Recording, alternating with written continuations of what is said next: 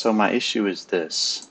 I have an Excel file here and I have a table here. And what I want to do is I want to take this table at different time periods and or this uh, graph excuse me.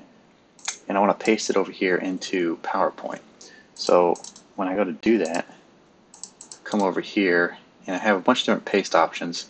And so this is the best looking one right here. Um, this embeds the workbook though uh, and so we can see here we also embed we also have it linked to Excel here linked here. Only one that's not linked is this picture one.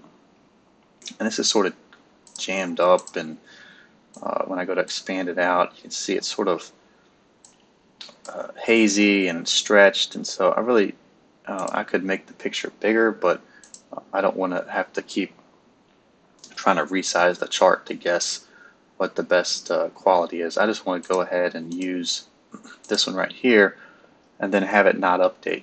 And so how do you do that inside PowerPoint?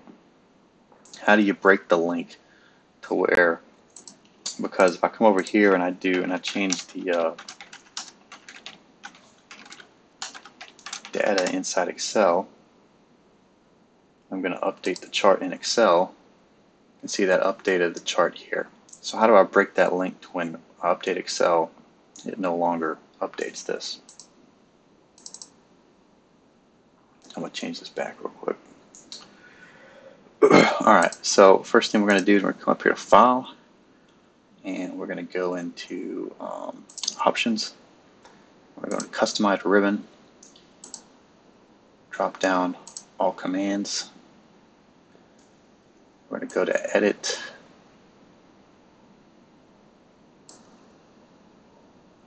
edit links to files. To add this, I'm going to add it to the home page.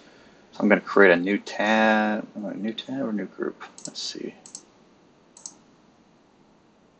Um, I'll do new new group on the home tab. New group. Okay, and then I'm going to add this edit links to file to new group. So I've got that highlighted there, got this highlighted. I'm to click Add. I'm to click OK.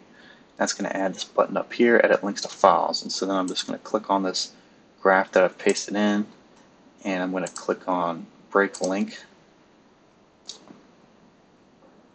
I'm going to close it, and then now let's give it a shot here and see if that's um, done the trick. So I have, let's see, the Excel file here. I'm going to go ahead and update it. Update. Change the one over here. And then it's left this one intact over here.